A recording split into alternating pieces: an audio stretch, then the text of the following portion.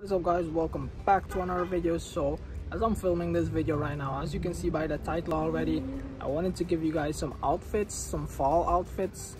This is a requested video so shout out to ashland. Um, shout out to you ashland for the support um, all the comments the likes and staying updated. Um thank you so much. Like it means a lot to me. Like um i know a lot of people also are looking out but I can see all of your comments. Um, a re requested video. Um, I know Ashland wanted to see um, more outfits with the red Vans that I bought.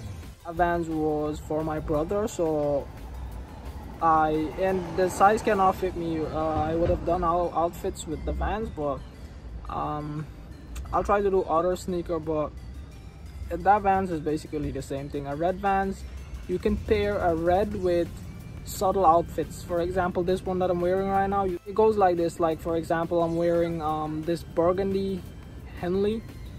It is a henley as you can see by the video if you haven't seen.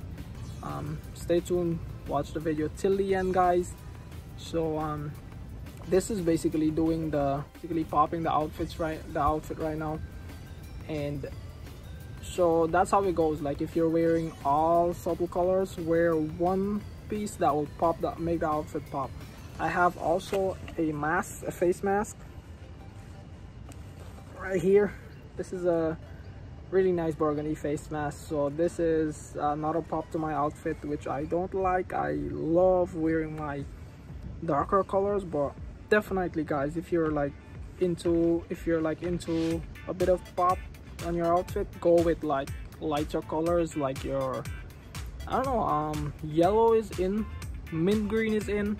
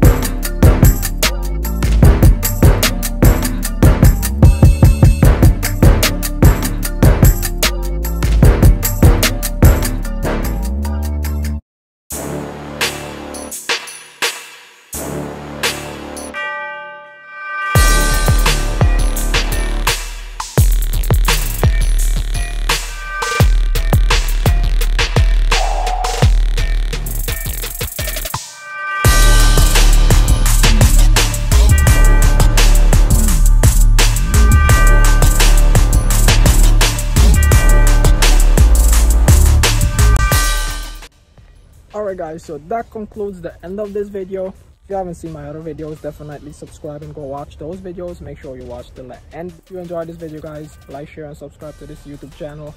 Um, if you haven't followed my social media already definitely do so. Matthews Hardyal peace out.